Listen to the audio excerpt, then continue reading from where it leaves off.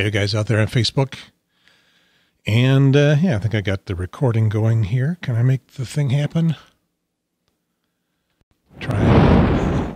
Oh, it is. It is sad. Oops. Uh, let's try that again.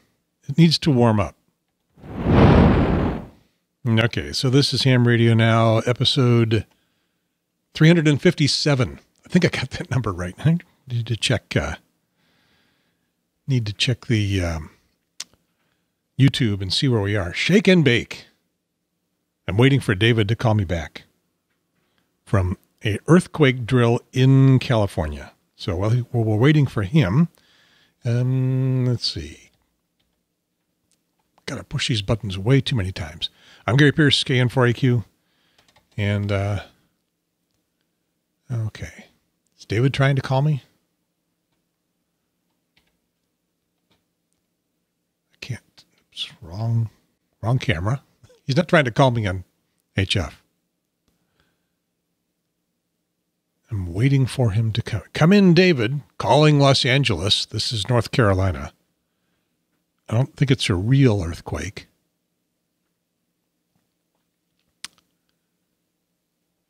So, uh, there he is. Hey, you're live. You're live on. Yes, you're live on Facebook. Hey, Facebook. How are you doing? David Goldenberg, W0DHG here from, let me adjust this a little bit, California Science Center. Uh, we're doing a live shakeout drill, 2017 shakeout. Yeah, the radios are louder than you are. Uh, let's see if I can turn some of this down. I was out of the house at 3.30 this morning, so I'm a little challenged on some of the equipment. Yeah. I saw you on saw you on Facebook uh, um, with uh, yeah, there's the right button with darkness in the background on the pictures that you put out there. Yeah, we were here on the ground about 3:45 a.m. for the media blitz. So I I um I was going to do the news the old newscaster thing. We take you now live to our West Coast bureau. D6 DCJ. Well, good afternoon, live and in person on the ground here. I can uh, I can show you some pictures around from inside. We actually, uh, just as you were calling, the mayor was inside the trailer here. Uh, they finished their press conference about 15 minutes ago, and we're actually going to go live. The event will officially start at uh, 10:19, so in about six minutes, we'll we'll have the simulated earthquake. By and, the way, I, um, I'm calling this episode. I'm calling this up there. Shake and bake. Awesome. It's gonna be hot today. It's not so bad so far. Yeah, the the bake happened a few weeks ago. Yes. Yeah, so not so much anymore. So, so what is the official name of the event? So it's the Great California Shakeout 2017. Uh, it's a yearly event. I think this is the fifth or sixth annual one that they've been doing.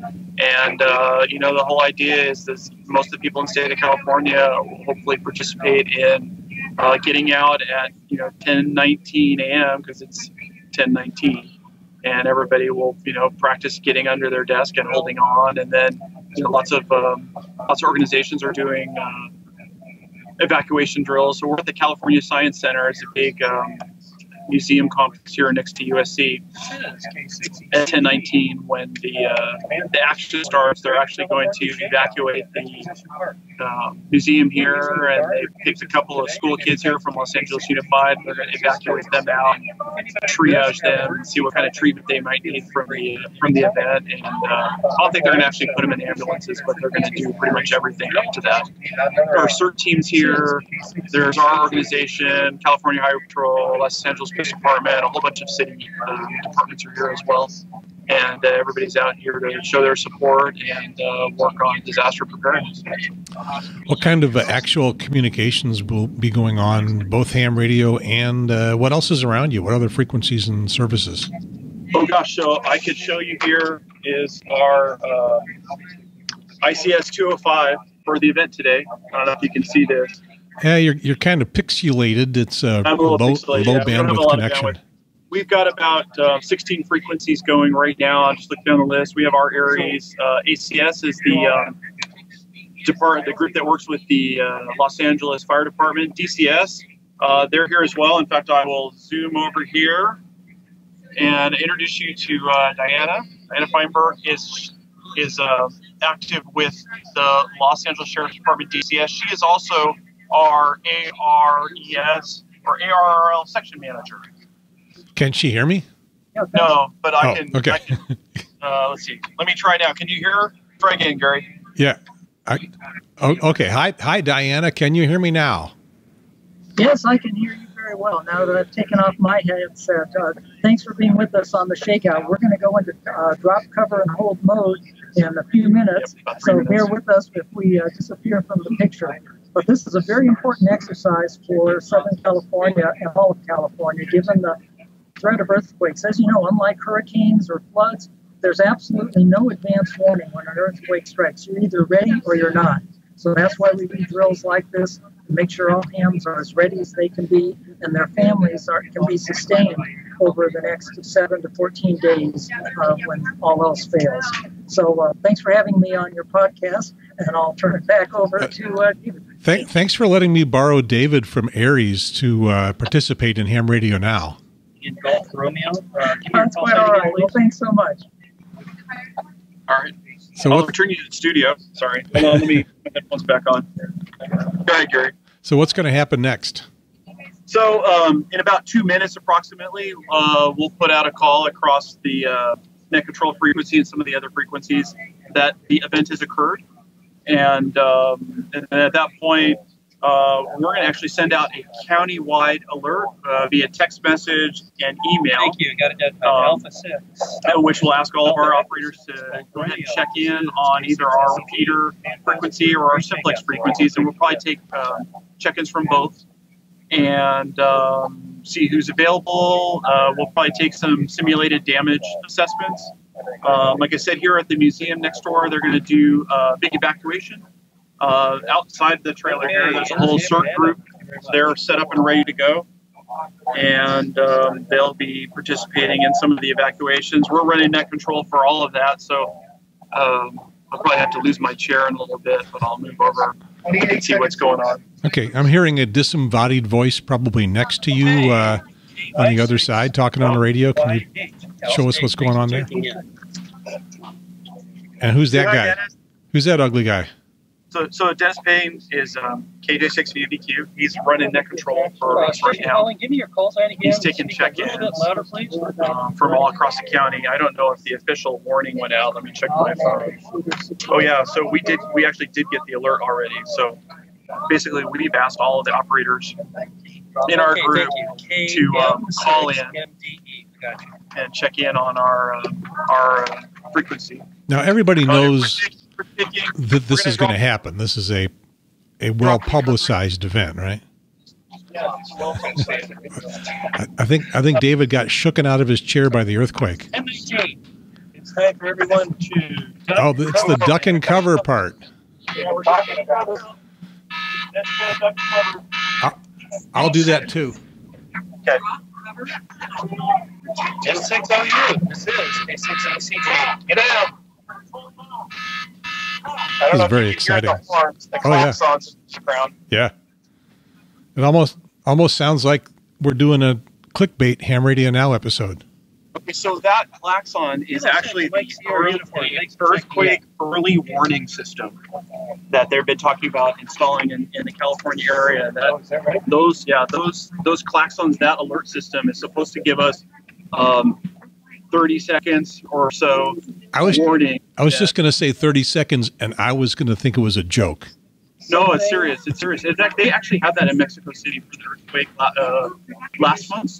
They actually had some warning, um, but it's not you know it's not everywhere and it's it's not ubiquitous yet. So there is actually warning system available. What what do they say thirty seconds would do for you? Uh, I mean, I guess it depends on where you are. If you're standing out in the middle of uh, uh, an open area, you're fine. But if you're in a building or you're near glass windows or something, we'll give you the opportunity to get under a desk, move Okay. away from falling objects. Wherever you've got your microphone, can you bring it up real close to your mouth? Let's see. Well, Or, oh, sadly, oh, I see. The, the microphone on my camera. it's on the camera. Okay, I see the problem. You know what? Here's, here's I'm going to try something. I'm going to go. Protect yourself in a variety of. I'm going to go mobile. Demonstration. Shake alert. I'm not sure how far I'm going to get. I, I think I hear. Am I hearing a TV station in the background, or am I hearing a? Uh, What you're hearing. So let's see if I can. I'm going to take you mobile here. So now you can't see it beyond the Salvation Army trailer. So um, there's a public address system that they have out here, and the public address system is um, reporting this. Um, it's playing the recorded message that, that there's an earthquake, and you know, please drop drop and cover, and you know, go outside, and so on and so forth. Am I any better here or no? oh, actually, yeah. It's uh, the the video's better, and and of course the sound is great now. Well, I'm standing outside. Let me make sure somebody took my seat. Oh yeah, okay, Martin's in there. Great. So um, I'm going to pan you around a little bit here, give you a short tour. So next to us, um, these are the ACS, Auxiliary Communication Service. Again, those are the Los Angeles Fire Department volunteers, ham radio operators. Uh, there's a CERT tent out here and a bunch of other volunteers as well. These are the folks that are going to start start getting in action as they evacuate the um, the museum, which is probably underway at this point right now. What part of town are you in? Um, we are. I'll tell you. Let's see. See if I can show you. So, if you can see in the background, there's that big, that big building. Yeah. See it? Yep. That's the Los Angeles Memorial Coliseum. So we're at USC, and the building on this side behind me, that big building there is the California Natural History Museum. The uh, Space Shuttle Endeavour, on the other hand, I'm going to walk around and make you a little dizzy. Thank you so much. Fortunately, it's uh, we're getting like a succession of still frames, Uh, okay, wait, can't get it this way. which which keeps the dizzy factor down a little bit. Well, that's actually that's probably a good thing. Yeah. So you see here behind this pickup truck. Let's see if we could catch up. Oh, did I lose you, Gary? Nope, we're still here. Oh. Okay, you, you so might, yeah, you might be losing my there. picture. there's a building there in the background. There's the big white building. California. That's the California Science Center. In that white building, the one with the on the, in the center of the screen with the tilted roof, that's the home of the Space Shuttle Endeavour. So the space shuttle that came here to Los Angeles actually lives inside that building now, and um, Have you been in to see it? I have a number of times. When, when the kids were little, we used to go to that museum like once a month, but now that they're bigger, only only occasionally.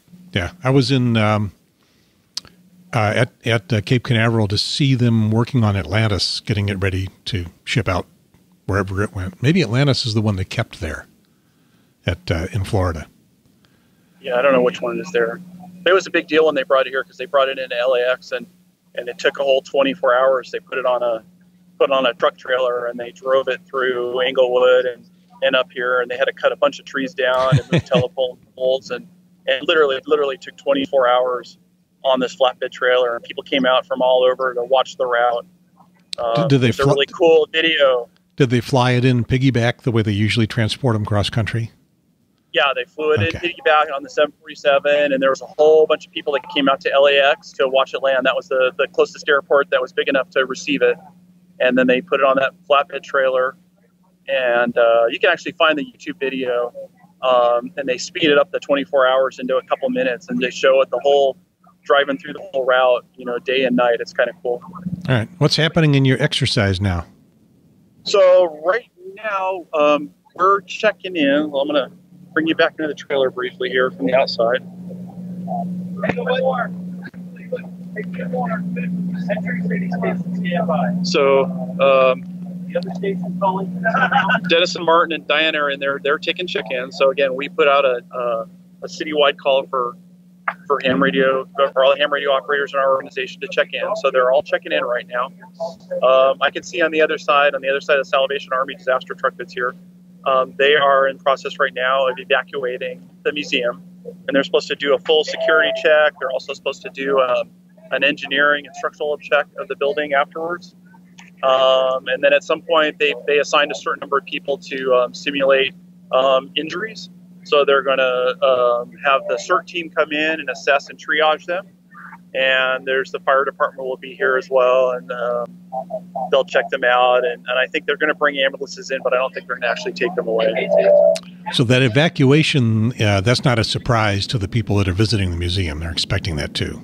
Well, you know, um, I think the mostly what they did is they brought Los Angeles Unified Kids into the um, to the museum, and I saw some signs posted. It sounded like they were planning to evacuate the whole thing, all of the the workers and everything else for the for the period of time.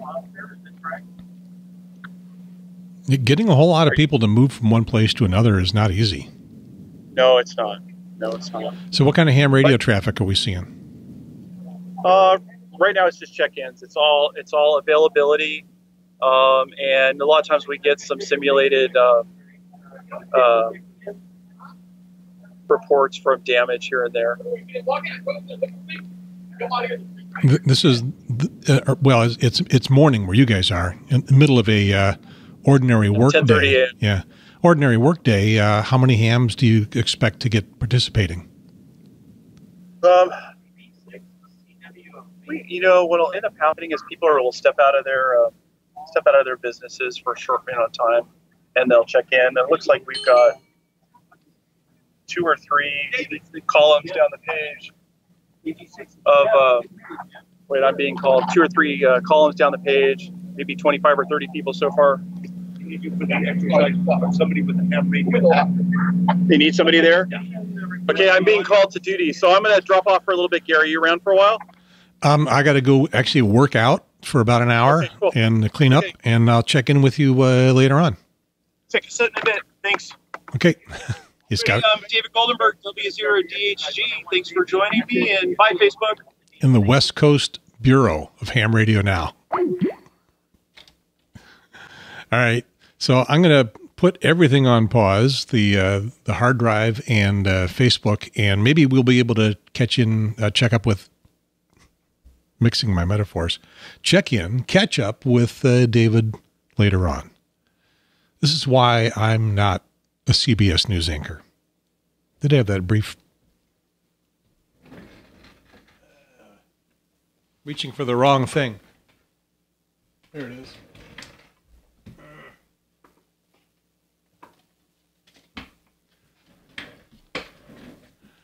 Did have that brief weekend anchor gig at CNN with my wife Cindy. But that didn't last very long. I wasn't blonde enough. Okay, this is either stand by for part two or over and out. I'm not sure which. Okay, I think we're back on Facebook. Seems to be holding. Okay. And you are back in the studio, I am back in the studio, back home, safe and sound. safe and sound, showered and clean. So, uh, so the, when, last we spoke, you were being lured away to some vital communications. yeah, so I know we were talking about what, what they were going to do for the drill, and um, it turned out that um, they needed an operator to work with the incident commander and the uh, you know the formal ICS structure under logistics to coordinate the evacuation and transport of the I don't know, I think they had 15 victims. and so they had the CERT team there and you know everybody got a you know they get a little tag that goes around their neck to say, you know, I'm bloody, I have a broken this, I'm a hurt that and so on and so forth. And the CERT folks have to size them up and say, okay, you go on the green tarp, you go on the yellow tarp, you go on the red tarp, and you know some of them go on the black tarp. They didn't have a black tarp this time. And then the CERT folks have to like figure out, okay, you need this done and you need So, that done. so they don't and do so full makeup. Um, for this one they didn't because they had a bunch of LAUSD kids. They looked like they were all about ten years old, and, and so they didn't do the Didn't whole wanna- launch thing. Didn't want to No. traumatize the kids Yeah, no, no, no. because you're in, you know, you got the you're in Los Angeles. You know, you got the Yep. makeup departments. Well, you know, a lot of the drills that we do do, they do the full on. Um, I've been at a couple um, on the Universal Studios lot, and you know they have bones sticking out of people and all sorts of just disgusting things. It's great. Yeah, let's not do but that. this to one was 10-year-olds. just this was just yeah exactly. Th- this one's just on the card. Uh, there's a great picture somewhere in my Facebook um, profile of me and my two daughters, and they came to one of those cert evacuations, and they both are bloodied and black eyed and whatever. okay. and, It's not, uh, not easily participated with one of findable those. rapidly. nah, probably not so easy to Okay. find. um, but anyway, so they needed somebody to coordinate with the the local incident commander and um, you know pass the messages back and forth around what kind of transport we need and how many victims and which ones were you know immediate or delayed and so on and so forth. And I got I got tagged for that. Okay, so how did that work? role. How did how did that communication? what channels and Um, what well, radios once, and once I got off the Facebook live stream with you and actually was paying attention to the job I was supposed to do, it worked a lot better. Um, they mentioned something early on, but they weren't clear about what they would come and get us, or we were just supposed to be monitoring. So I guess I was just supposed to be monitoring and uh, fell asleep at the wheel. But once we got once we put the laptop down and I went over and did it, it actually worked pretty well. Um, you know, I this this, ladies and gentlemen, is why the PIO job is a full time job. Right. Um, but once once it got there and they started getting the people out, you know, we had the coordinated the they had three CERT teams there from um, Lomita, and then coordinated deploying the first one and then deploying the second one to the first one, and then finding out if the the first team needed the third one, and they put them on hold for a little while. But uh, eventually, we got them all, you know, engaged, and the fire department came along and and did what they call the um, windshield survey you know that's what they do in an earthquake they drive through the neighborhoods doing a survey um, with the windshields because the assumption is you know all the all the phones are down and people can't make phone calls so they have to kind of look through and usually the trucks will stop and slow down and say are you okay? or um, and, and mostly they're looking for burning and blowing up stuff. So they stopped and got the report of how many people you know needed what and and they drove on. And then you know we did some radio traffic back and forth with the folks that coordinate the ambulances services and so on and so forth. And once they had treated all of the 15 victims at least gone through what their cards said uh, and we got to 100% that was pretty much the end of the drill and then we got everybody together and we did our hot wash talked about what went well and what didn't go well and what can we do to improve in the future and okay, uh, okay. then so was, well, first of all, what what radio systems were you using? Were you using the ham systems, or were you were you using their systems, or some of both? So, yeah, a little bit of both. So, um, the CERT folks uh, use either commercial or uh, GMRS frequencies, um, and I have a simplex you know, or repeater? Uh, simplex, all simplex. Well, at least for what we were doing there. the airy stuff that you heard going on in the communication trailer, uh, that was primarily ham stuff, and it was a combination of simplex and repeater as well. So we had people checking in from the whole county. That was all through their repeater system. And I, I don't know what the number was. I looked at the columns. It looked like 60 or 70 people checked in at least, but I don't know the exact number. Okay, so you're out with the uh, fire department. Yeah, I was out with the incident commander. How, and- how big a the- field was your field? Was it, was it just all right in that area by the museum, or did you go on the road a little bit? No, it's it's all in the area of the museum. So the the exposition park is what they call it. Um, is next to the the Coliseum, and the the field there is probably a couple of football fields large. It's a really big area, and we were out there. Um, you were asking again about radios. So Are GMRS and um, some commercial. All of the folks that work for the museum, they have their commercial radios um, and I coordinated with you know their uh, logistics manager had their commercial radio, and I was talking to the CERT folks on you know I have my HT does commercial and and um, and ham frequencies as well. So I have a program for both that I have GMRS license, so we use that back and forth to coordinate their traffic. Why do why do I hear the potential of an interoperability nightmare? Uh, well, you know, it does happen, and you know that's you know, you know we joke about the ham that shows up at the event with six HTs on their belt, and you know, You the got to. reality is, yeah, the reality is sometimes you have to. Um, You know, the the two HTs that I had on my belt, they both will dual transmit, dual listen, and not back and forth. They don't watch their actual, you know, real dual. And um, and I had in one ear, I had you know two different frequencies going all the time. I didn't really talk on that as much as I was just listening, and but the other radio, I was back and forth and back and forth. Yeah, ham equipment is is far more flexible than Mm-hmm. most public safety and commercial equipment. In in the first of all, it's it's only been recently that they've made dual band public safety radios.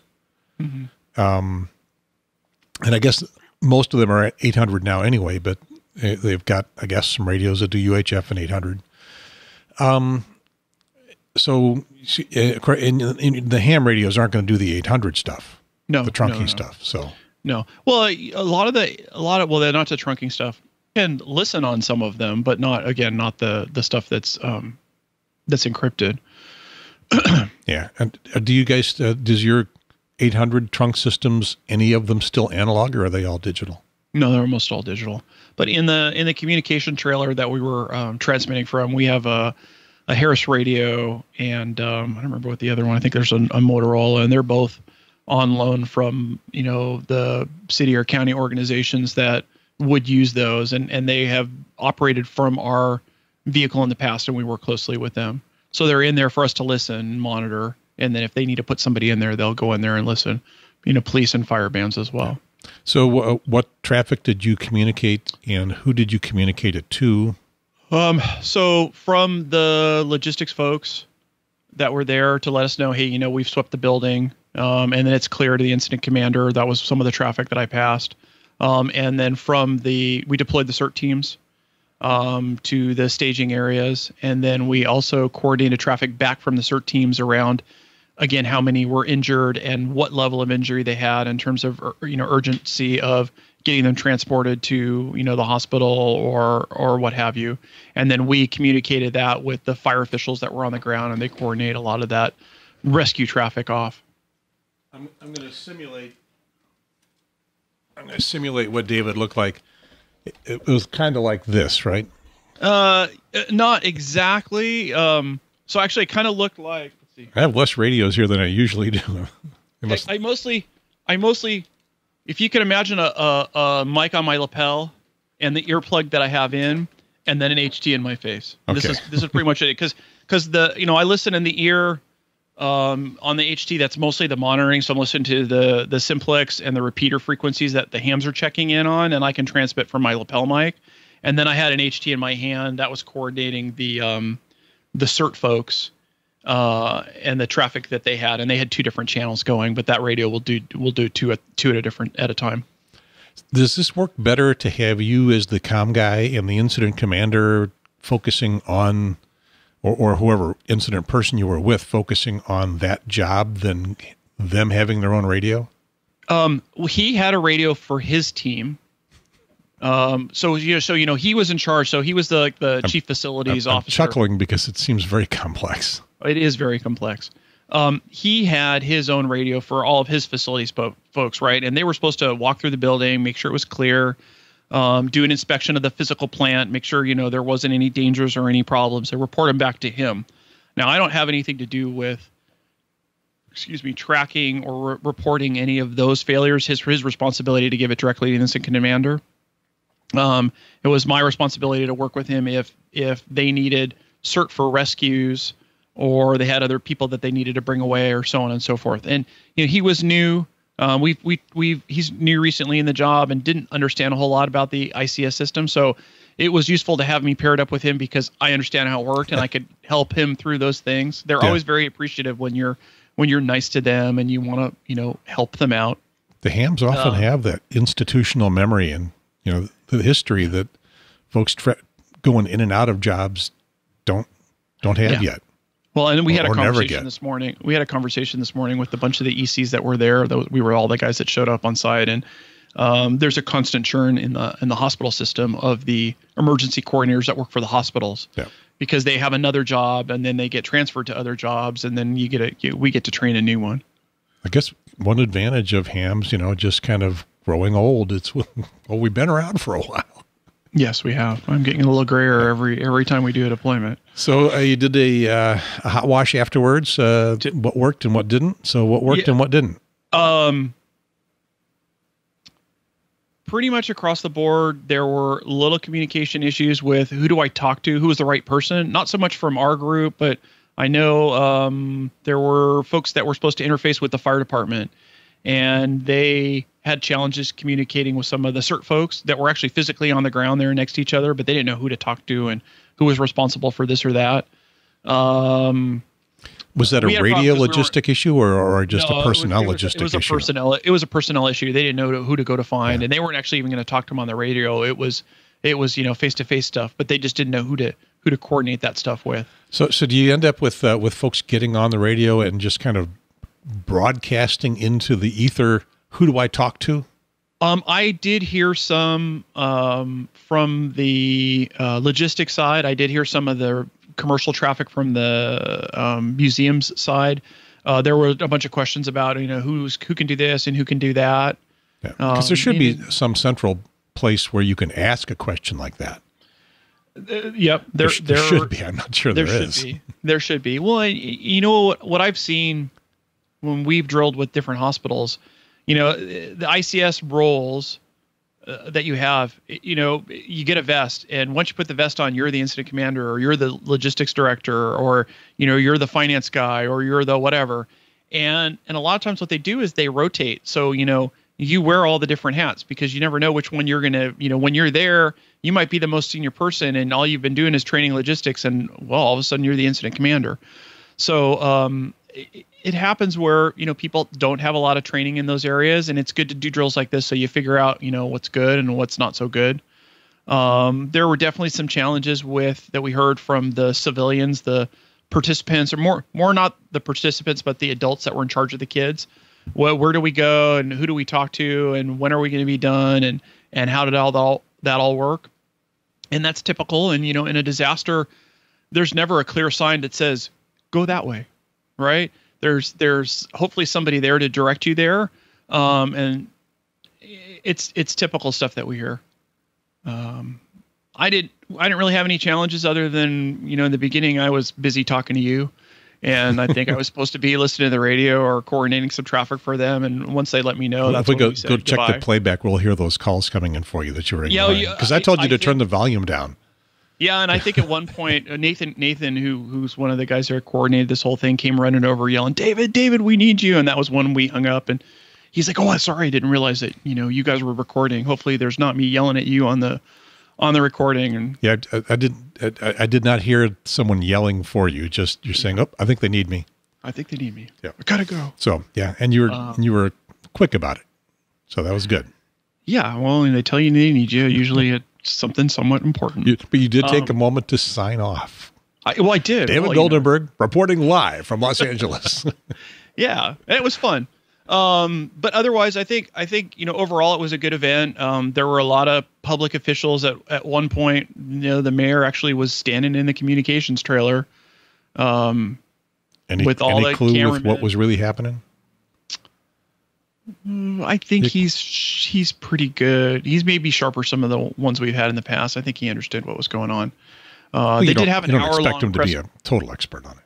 No, but you know, we work. We work. They have this program, the um, Conference of Neighborhood Council. So uh, once a year, everybody gets together at City Hall, and they have all the neighborhood council leaders um, who are you know volunteers in the different districts. They go and they meet with him, and and there's always uh, a big ham radio presence there. You know, we get assigned to kind of shadow all of the, the officials and the neighborhood council people, so everybody knows who we are and what we do, and we move you know messages around back and forth hey you're needed here or hey there's a message for you there and so on and so forth. Um, so they know they have an idea. Do they simulate in this exercise or, or others that you've been in um, an actual communications outage? um, we will I- don't think they did it this time and, and again i was mostly working with the on the ground incident team the the out of area team. I was listening on the other ear. Um, i know that they did mostly the check-ins were on the repeater uh, frequencies. Um, we do usually t- roll over and we'll we'll you know have a certain period of time where we'll do a simplex test or we'll say hey you know repeaters aren't available. Everybody go to our you know standard simplex frequency and we'll do communication checks there to see who can hear who. Um, from the um, incident team the folks on the ground there i don't think that they went to that point to say hey the repeater they have for their uh, business band radios was down. And you know you do fall back to the simplex frequency that doesn't have the penetration through you know some of the buildings to see um, see what that had. I don't believe that they did that. But typically we include them in the drills that we do. Yeah. How how long was the drill overall? um, the actual drill uh, took a little bit more than an hour and maybe 15 minutes. You know 10 19 was when it started and we were done 11 12:30, 11:40. Yeah. If you're going to simulate all that, you know, outages and stuff, you need to have more time. So Yeah, you need more time. And there were a whole bunch of things that they didn't do. They they have um, a big um, stake stake up uh, tent that they can do triage and casualty control and whatever. But it takes them like takes five guys like 35 minutes to put it up. And originally they talked about moving the trailer, and then they were like, "Well, do we set it up early in the morning, or do we actually set it up when it's time?" And I think once real they realized that they were going to plan to do it when it was actually happening, that by the time because it was simulated, by the time they got it all stood up and ready to go, they'd be done. You know, in a in a real event, you know, those casualties will maybe be there for an hour or more, depending on how bad the the injuries are and how bad the infrastructure is damaged. Um, so you need to set those tents up so people have shelter and that they can maintain them over a longer period of time. yeah. Now you weren't set up over a real wide area. Um, in an actual pretty bad earthquake, uh, roads were going to become impassable, right? Yes, absolutely. And we did have we did deploy um, some operators to some of the local hospitals, so there was communication from our area back and forth between the hospitals to let you know people know that you know we we have simulated traffic coming to you, and we do the whole bed count thing. You know, we we um, work with the hospitals to get um, statuses of how many patients can they take, so we know wh- where traffic can go, and the medical alert center that we work with, they're the ones that that accumulate that information, and then they manage you know, if it's a trauma or a minor injury and they have to be transported, you know, send them to this hospital or that hospital, depending on the severity of the of the injury and how many people are already there. So for Los Angeles, this isn't a hypothetical. This is a things that have happened and are Yep. guaranteed to happen again. Sure, absolutely. And I've been here since '69. Um, Sylmar 71 earthquake was a big earthquake. You know, Northridge earthquake was a big earthquake. And Then there's been a number of other smaller ones, but they still cause damage. And and it's not an if, but a when. Yeah. And, the, You know, and they keep at- saying the big one is overdue. Yes, they do say that. And you look at what happened, like Mexico City. You know, they did a on the 28th anniversary, I think, of the big Mexico earthquake. In the They had, morning, they had did a drill whole- and then they had an earthquake. they had a whole drill, and then at the yeah, the end of the day, they had this huge earthquake, and I think that was an eight or something like that, which Yeah. is not a small earthquake. Um, and I'm you know knock on wood here that I'm hoping by the afternoon we don't have that happen here. Um, and there's no you know there's no anniversary of anything here, but you know this is just the day that we do it on. Yeah. To drills Um, like but this, it will happen. they they leave you with um, what level of confidence that if something really does happen, that you're going to get out there and be able to do the kinds of things you were drilling. You know, plus or minus the fog of war. Yeah, you know, we do this so that we shake, you know, shake the bugs out, right? So we figured out that um, there were a couple of radios in the trailer that weren't working properly or needed a couple extra frequencies programmed for some of the interoperability stuff. Um, you know, when I think about when this really happens, a lot of my concern is where am I? Um, you know, I I drive about 28 miles every day to go to work and 28 miles back.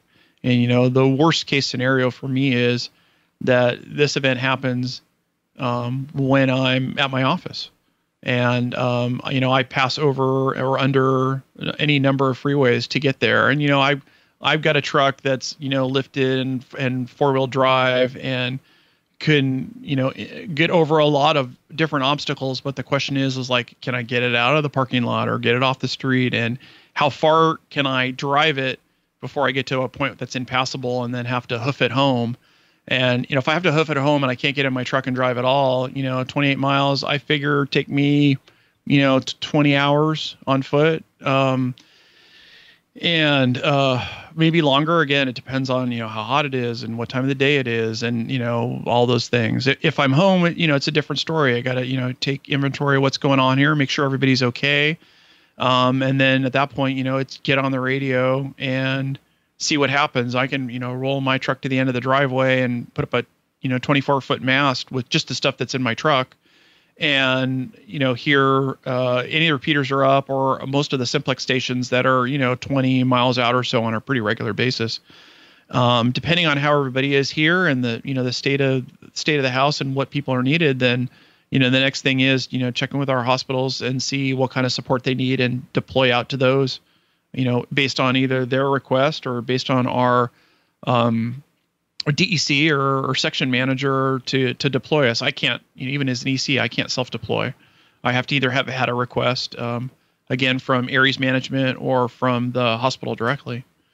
And I would go as long as everything is hunky dory here. Um, and and you know a number of the folks in our our house here again are you know we're at five of seven people live in the house with me that have their tickets. Um, some are more skilled than others. Um, one more, hopefully next weekend, we'll get her ticket, and um, a number of us have IDs for that hospital and are on their list of you know volunteer uh, emergency communication workers, and we'd go and help and pitch in. Did any any of your kids get to participate in this event? No, they had school today. They begged. They all begged. Even after I told them, I, I actually I we left the house at 3 a.m. this morning. Um, even after I told them I was leaving at 3 a.m. this morning, they still begged. They're like, "We'll get up, we'll go." Like, you know, you got school, go to school. I don't know. Seems like valuable life experience you don't get in school. Uh, yeah, absolutely. But I know, I know there'll be a number of other days this year when we get to March. Uh, we'll do the annual Baker to Vegas race, and I take them out of school that Friday because we got to be on site to get there so that we don't get stuck in all the traffic going out, going out there or going out to Vegas. So we take them out of school on that day. Um, and there are valuable lessons, but we gotta we gotta pick those days that they don't have school wisely. I don't know. Jeri Ellsworth and I were commiserating about you know she was a high school dropout and uh, I was a college dropout, and she said, "Well, you you, know, you could have done it earlier, but you know at least you Yeah. dropped out." this is not a lesson for you kids. No. no. Yes, yes, no. so- Stay in school. Yep. Work Um, hard. So, so y- where you work, long distance from home, uh, getting Mm-hmm. Yep. home would probably uh, emotionally be a high priority for you. Sure. But but people are going to be redistributed all across the area. There'll be people in where your home is that can't get back to wherever they got to go. Yep. You're at work, you can't get back home. Um, uh, is it un, un, impossibly complex to say? Well, why don't you work with the hams where you are? Um, you know, we we do have some we do have some backup plans that that go along with that mentality. Um, honestly, after we have that that big quake, my number one priority is going to be you know family unit. Um, and and if I'm at work, mm, probably eighty percent of the time that I'm at work, I have like three kids, two in the high school and one in the middle school, and I'll be responsible for getting them out of out of there at some point. And you know, if my wife's on the road, then it's you know mostly just me. My parents are here too, and they, they could get the kids out. Um, but that again, that's my first priority. If I if I'm able to get on the radio and get a hold of them, and and some of the kids actually take take radios with them where they go, or have them at school in their lockers, and I'm able to get on the radio to say, hey, they're fine, and you know, hear from my my dad that hey, he's got them, and I am stuck in in Burbank. I know there are two hospitals there, and I know the you know that's in our area. I know the emergency coordinators there. I could conceivably go and show up and and you know play a role there, um, but my expectation was I'd be a little too distracted. Um, Everybody pretty much would if they've got a family like Yeah. that. yep. but you know, I'm just I'm, I'm thinking. I guess if you're if you're 28 miles away and Yep. it's going to take a couple of days to get back. Yeah, it won't take that long. I mean, Well- if, even if I have to do it, even if I do it on foot, um, I could. I know I can know I could easily do twenty a day if I had to.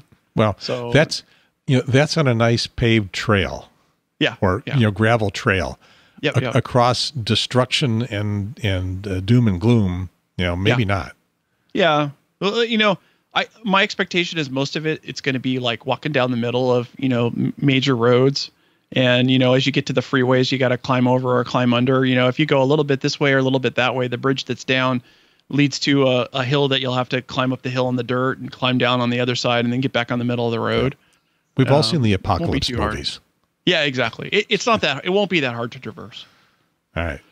So I gotta I gotta wrap. I gotta get off to another meeting. But uh, I'm glad we were able to do this and we turn it into a turn it into a show. Yeah. Yeah. That's cool. Um, it's good. It's it's interesting to see the live on the scene. Yeah. And Well, I want to I want to be able to do more of those. I'm glad it worked out. Ignore more communications that you're supposed to be paying attention to. Well, I'll make sure next time when they when they plan that out, I'll be like, hey, tag not it. Somebody else can do that. yes, you're the correspondent.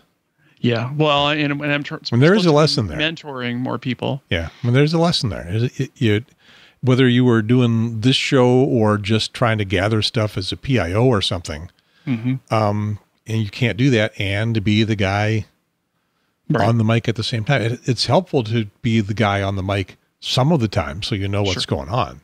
Yep. But this this you know publicity thing is it's a job. hmm It's a, I think it's a more necessary job than a lot of other people do. And when we talk about some of the stuff in Puerto Rico coming up, Right. that issue will come up. Yep.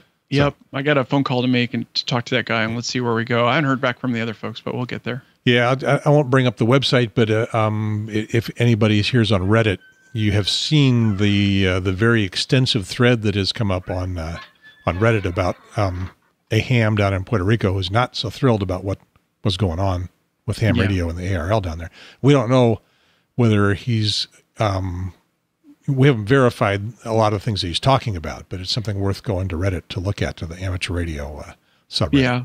And, and I got I got a short note from him saying it wasn't all bad and he wanted to talk. So Yeah. I'll, I'll follow up with him. We'll see where it goes. So we'll, we'll do something about that.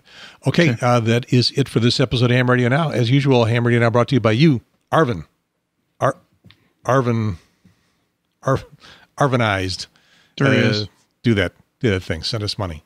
I'm Gary Pearce. Wait a minute. I can, I can do Yeah, this. you got to get can- the, the whole thing there. I can do this. I'm Gary Pearce, KN4AQ. And I'm David Goldenberg, W0DHG, Over. and out.